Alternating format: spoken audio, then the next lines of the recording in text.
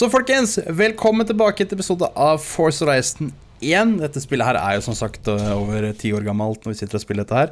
Vi skal da ta og fortsette der vi slapp sist. Hvorfor er det en urpåstein? Hva skjer med det? Hvorfor har den det?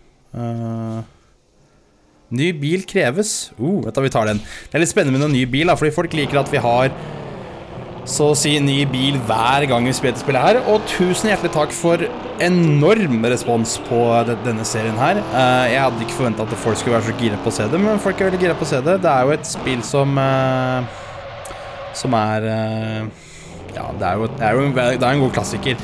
Det er jo det som på en måte starta hele Og så er det på norsk, til og med. det er det som starta hele karrieren til Force Horizon. Det må vi i hvert fall si. Og eh, veldig mange var veldig positive til å fortsette denne serien her. Så kommer vi til å gjøre. Jeg vet det er litt Det er vel over en uke siden jeg har lagt ut en video av det her nå, men uh, som dere vet, det er jo derfor jeg uh, har denne bonuskanalen her. Det er jo for å gjøre ved siden av min hovedkanal. Og jeg har, hatt, jeg har hatt mye å gjøre på min hovedkanal. Det er fortsatt mye å gjøre. Det er alltid mye å gjøre, og i tillegg så har jeg det på toppen, så det er jo basically blitt mer eller mindre fulltidsopplegg det her, altså. Det er jo mange som ser Jeg ser ikke en dritt i det mørket her, egentlig. Ops, i deg, så det traff jeg i Men Altså, det er jo blitt en fulltid, så jeg hadde pris på at folk, hvis folk hadde likt videoen og sett mer reklame som dere alltid gjør, for det er det som gjør at jeg kan uh, leve dette her og fortsette med det. Og en gang i fremtida kanskje komme meg litt videre i livet enn å kun bo her jeg bor nå, for jeg er ikke så veldig fornøyd med bostedet her. Altså, det er greit, men det finnes bedre. Og jeg tror jeg kan, som jeg sier, forbedre meg Oi, da klikka lyden litt. Oh, jeg blir fokusert. Der, ja. Uh, jeg tror jeg kan bli bedre på ting hvis jeg på en måte kommer litt videre i livet. Så jeg setter pris på at hvis folk ser på videoen og uh, ja, liker det du ser, så kan jeg se hva jeg spiller for neste gang. Jeg har vurdert også å lage en Let's Play for litt forskjellige spill, så hvis folk er interessert i å se litt andre ting enn bare bilspill, så er det bare å hyle ut. Men det er bilspill folk er veldig interessert i, da, har jeg skjønt. Så vi får se om jeg gjør dette spillet her. Kan jeg komme meg inn her? Kan jeg bare snike meg her? Der, ja. Nice. OK. Her er vi race inne på et industriområde, faktisk. Det snakker vi skikkelig industriområde òg. OK. Du må gjøre det om igjen hvis du vil vinne et blått armbånd. OK. Du kan ha ingen biler. Du har ingen biler som kan brukes i dette løpet. Mm -hmm. Vil du gå til bilutstillingen og kjøpe en? Ja, jeg vil det. vil du gå til bilutstillingen og kjøpe en? Jeg bare, nei, ikke i det hele tatt, men jeg må ha en ny bil. OK, så Litt forskjellige klasser. Nei, det blir Miatan, ass. Det er ikke snakk om annet. Å, fy faen. Sjekk den her, da. 20 000 kroner. Let's go, da. Det er faen meg eh, vrakpant ganger to, eller noe sånt, er det ikke det? Faen, ja takk. Mm. Rød Miata. Da snakker vi. Det her må jeg Ja, come on. Perfekt. OK, nå er jeg klar. Jeg er klar. Start løp. Ikke bli steppa når jeg slår deg, Nei, nei, nei. Det er noe du blir vant til. Du kjører der eh, greia di der. Jeg skal kjøre vekk med Miataen, jeg. Se hvor liten den er. Er det, er det Miata? Hva, hva, er det der for? Er det enda Miata? Åh, det her er perfekt. Se på den lille bilen her. Visste det, folk, altså, jeg får ikke plass, jeg får ikke plass i Miata. Det er ikke fordi jeg er for feit. Jeg er for høy. Så beina mine går ikke nedi. Å, herregud, det var skikkelig Det her minnet meg veldig om sånn Dirt 3-sted. Hvis dere har sett meg Jeg tror ikke dere har sett meg spille Dirt 3. Det var gøy å prøve det igjen, faktisk. Dirt 3. Se hvor elendig jeg er. Ja, kom igjen. Det minnet meg veldig om det. Sånn typisk industriområde egentlig. Vi er her i fire runder, så vi har fått tid til å ta igjen disse folka her. Brown, Gilbert, Houston, eller Houston, som man sier det. Ok, skal vi se, vi må...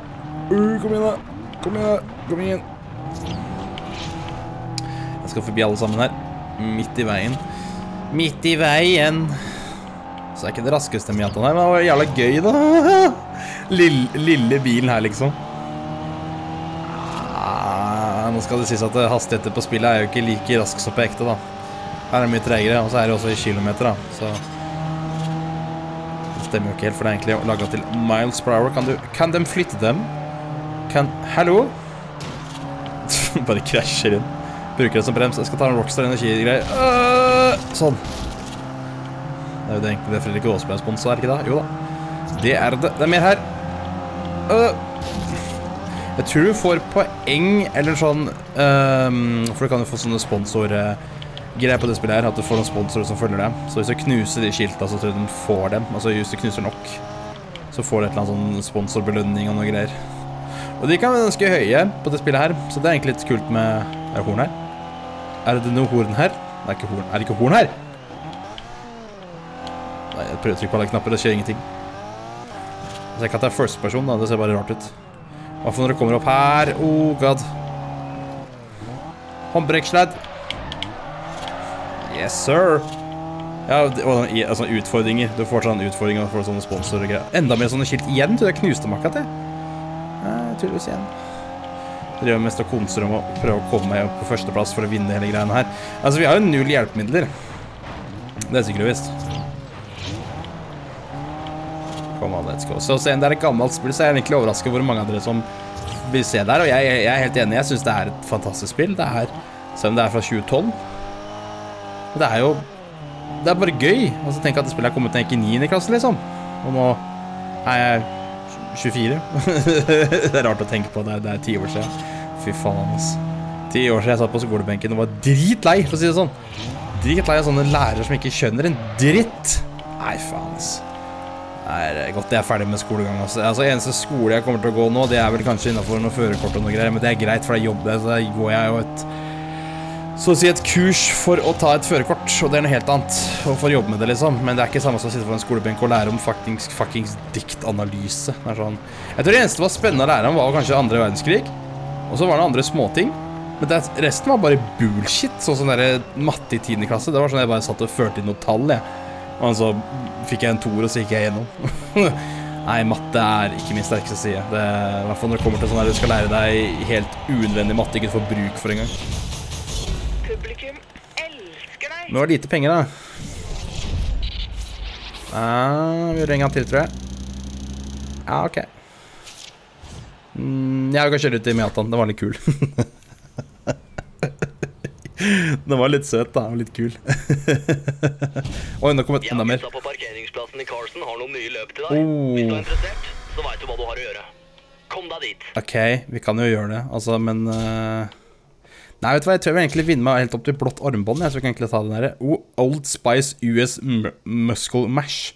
Skal sikkert kjøre amerik altså, muskelbil, og jeg har en Mustangen, da, så Kjøre rundt i Miataen. Wii! Det går så fælt! Det går kjempefort.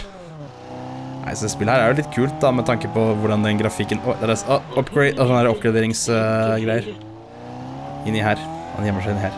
Det er litt kult hvordan de bare Det er jo en Det er jo en Det er liksom Skal være Colorado, da. Men det er kult hvordan det var tilbake i tida. Sikkert helt vanvittig grafikk når det kom tilbake i tida, liksom. At det var det det var. Det er ikke sånn kjørevolt her. Beregner rute på nytt. Ja, det gjør det sikkert. Sånn. Så er det mer og mer, er mer, og mer eh, billigere oppgraderinger. Ikke gratis, men billigere. Kan jeg bare kjøre opp her og hoppe? Jeg tror ikke jeg har nok kraft til det der. Eh, nei, det har jeg ikke. Å, helvete, hva skjedde der, da? Jeg vet ikke. Jeg prøvde å finne ut av det. Det var noen som kommenterte på at eh, Xbox, eh, eller ratt og pedalen, kan funke til Xboxen min, så takk for den kommentaren. Jeg skal ta og se på det i framtida, om det lar seg gjøre. Eh, jeg må finne ut hvordan jeg gjør det. Kanskje når jeg får den nye For jeg skal bytte om riggen her. Så sånn som riggen er nå, så er det ganske ugunstig å ha noe og Xbox der, men jeg vet ikke om den nye er noe bedre til det. Altså, jeg tror den er mye, mye, er mye bedre hvis jeg hadde flytta på meg og bytta leilighet. Flytta et nytt sted. Jeg tror jeg kunne fått det ganske mye bedre oppsettet på setupen der nå, altså. Å ja, det treet bare var det basically en murstein eller noe sånt nå? Ok, greit. Så skal være sånn her i går, får det bare være da. Faen, det var sånn dunk. Det skjedde ingenting. Jeg vet det. Øh, jeg kan ikke ha den raskeste bilen her, men det går fint. Det er Miata, hva forventer du, liksom? Så jeg skal definitivt se litt på det, og jeg skal spille rattpedal på dette spillet her. Eh, så hvis det funker, så er det jo greit. Eh, da gønner vi på med det.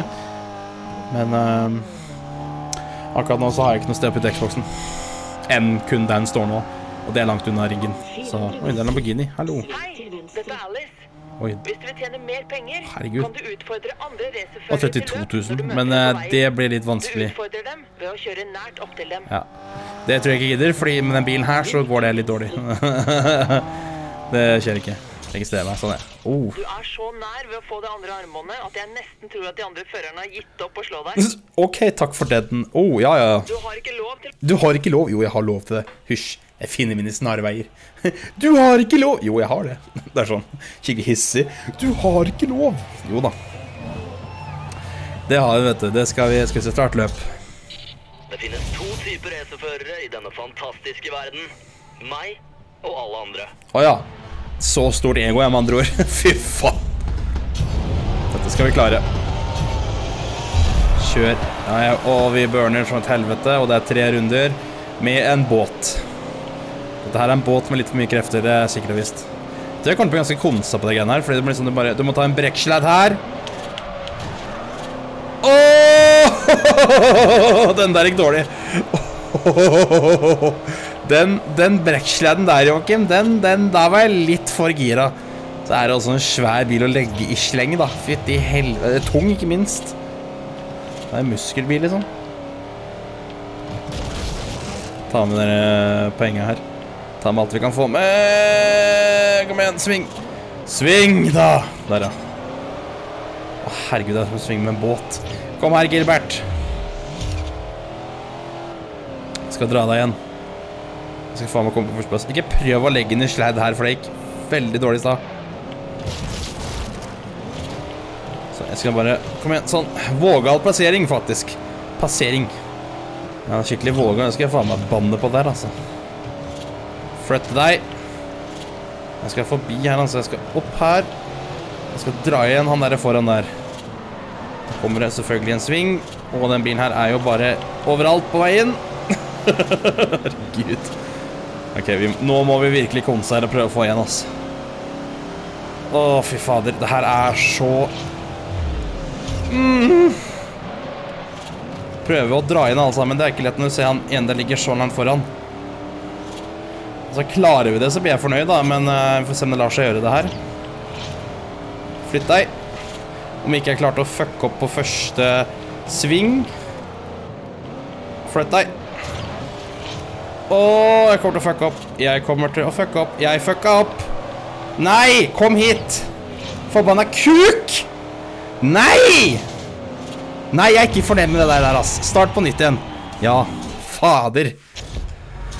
Åh, jeg fucka opp. Jeg skulle, ikke, ha sledda så hardt i første svingen, fordi det gikk veldig dårlig, altså. Det gikk faktisk så dårlig at eh, Nei, jeg er ikke stolt av meg sjøl. Pakka det der. Jeg gir meg ikke. Jeg skal ikke fucke opp første sving. Jeg skal ta de poenga der. Og så skal jeg bruke deg som sving. Snakk om å mobbe noen, da! Å, herregud. Jeg tror jeg fucka opp igjen. Jeg må slutte, jeg må slutte å krasje så mye folk. Det er sånn skikkelig irritert på en person, så kjører du sånn ned. Stakkars. Ja, ja. Ok, greit. Det er bang, bang, bang, bang. Her sledder vi som en gærning på tur. Å, kom igjen da. Sender. Du gjør virkelig stor fremgang. Ja. Når du kommer til 225. plass, tar jeg kontakt angående et oppvisningsløp som jeg arrangerer. Uh, oppvisningsløp, det er litt gøy da. Ok, vi må prøve å få kommet oss forbi folk her. Ok, vi begynner å nærme oss. Gilbert, han må flytte seg. Og så skal vi dra inn av Håvard-fyren. Det var litt utfordrende, for det er jo en stor og tung bil å svinge med, og så er det liksom, ja, det er det der da. Og han foran der kjører jo som en fuckings gud da. Sånn, der var du. Og han der Oka, Oika, Oikada, eller hva han heter for noe. Komme. For nå skal vi dra igjen han. Ta med oss litt poeng her, og så må vi bremse godt i den svingen her, for den, det er en litt utfordrende sving. Han kjører selvfølgelig en veldig kul Dodge Challenger forbi deg. Sånn, nydelig. Opp her. Skal vi prøve ikke å fucke opp i den svingen her, for det gjorde jeg. Prøver å bremse her, tenker jeg. Da tar vi rolig inn der. Og så sånn. Der tenker jeg vi har den. Gir nå da, og så kjører du på. Faen, altså. Yes, det fikk vi endelig til. Nydelig. Førsteplass. Mer fornøyd med det. Racerfører blir feit? Ekte racerfører høres så kleint ut. Jeg vet en ekte racerbil før det blir fett. Å, å, ti poeng unna blått armbånd. Nei, jeg vil ikke kjøre Mustangen. Fy faen, det er, så, det er som å kjøre en båt. Jesus Christ. Han er jo han er overalt. Det ender ikke. Han er liksom overalt, kan du si. Mm. Jeg kan jo ta en sånn derre Fordi lyn Fast travel anywhere. OK, jeg må unndekke it. Ok, det var sånn Må kjøpe sånn poenggreie. Men jeg kan jo ta Nei, kan jeg ta det der? Nei. Lynreise er det faktisk. Jeg Kan ta lynreise dit. Ja. vi tar sånn lynreise dit, og så skal vi ta og kjøre til inn i løpet som blir her. Det er noen løp oppi her også, jeg faktisk. Det begynner med en god del løp rundt omkring her, da. All right. Så vi gir gi oss opp, opp, opp, opp Nei, oppvisningsløp. Opp, opp, opp, opp! Faen mye stammende var det, Joakim? Opp, opp, opp, opp, opp, opp, opp. Oppvisningsløp på to Nei, jo, var det 225 eller sånn et eller annet? OK. Får se hvordan det går. Da får vi uh, håpe det beste, tenker jeg, altså. At vi klarer å komme oss helt dit. Fordi for opp oppvisningsløp kan du Faen, ikke så jævlig! Kan du eh, Kan du både- vinne bilen og vinne ganske mye penger som regel. Derfor. Vi vant det. Derfor vi har Mustangen, for den vant vi derfra. Så vi får se åssen det går. Til. Nei, jeg vil ikke, jeg vil ikke kjøre mot han, for den her er, den er for treig til sånt, altså. Det skjer bare ikke at jeg skal drive og race mot han på det der, altså. Ikke søren. Hold. Hold, 100 meter. Hold til høyre. Det til der GPS-en her. Kan du GPS-en GPS klarer, ikke å- GPS klarer ikke å roe seg ned. 4 meter ankommer i stedet. Ja, jeg vet at jeg gjør det. All right, flott nestenulykke. Det er flott nestenulykke, faen. Det er, så, det, er, sånn- det er fint å si. Sånn, ja. Å nei. Den bilen er ikke godkjent i dette løpet. Nei, jeg må ta den. Velg en annen. Nei, jeg skal ta Forden. så skal jeg smadre hver folk som kommer med. Det her er vel løp som er sånn eh... Ja, men hvorfor kjører folk eh, Mustang da? Jeg kommer til å slite da, hvis jeg skal kjøre sånn mot dem da. Denne typen trening til de ekte sakene. Å, herregud, han, han, han høres så ego ut. Økte trening til disse sakene her. Jeg bare, ok, greit. Ok, kjør. Og vi skal forbi alle sammen. Ok, han var ikke så treg da. Han er veldig svær, så jeg kan jo bare dytte folk her, vet du. Å, kom igjen da. Å, tre rundeløp, altså circuit, circuit race som det heter. Bare gå rundt og rundt og rundt og rundt. Ah, kom igjen da. Sving som en gud.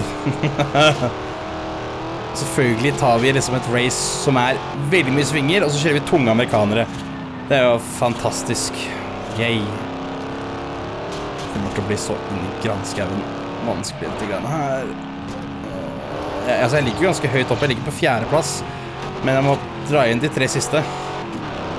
Det er ikke så lett da når eh, både jeg er tung i svingen, og dem er eh, Ja, dem er egentlig tung i svingen, dem òg, men jeg tror dem er en smule raskere. Har jeg en følelse på. Da må knuse den fine Mustangen! Flytt deg! Jeg skal forbi. Lynrask, faktisk. Kjør ned litt skilt. Du får, du får jo poeng for deg da, hvis du gjør sånn her.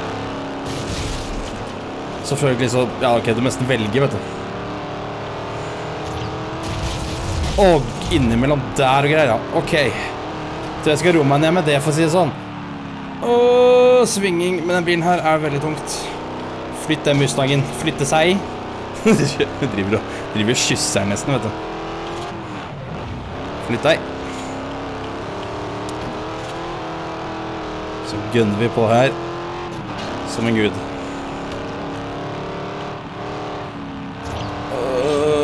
Prøver å få litt Og det er Adidas, men det kan jeg ikke ta. Fordi jeg prøver å falle i førsteplass.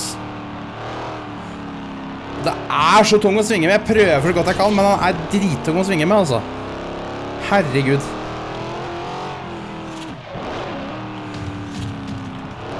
Uh, Rockstar. Utrolig vrakstunt får jeg faktisk ikke. Jeg liker han heter Guy Gilbert, faktisk. Det Er det han heter? Bare GG, liksom? Ja, ok. Såpass. Jeg heter bare Jotter 1285. Jeg vet ikke hvorfor jeg gjør det, egentlig, men det er det er det eneste brukernavnet som var tilgjengelig. Jeg vil egentlig et Ottersen, det får jeg ikke lov til. Eller Ottis, men uh, det er opptatt, så da blir det liksom Jotter 1285, da, tydeligvis. For det merker. Jeg vet ikke hvorfor. Null peiling hvorfor.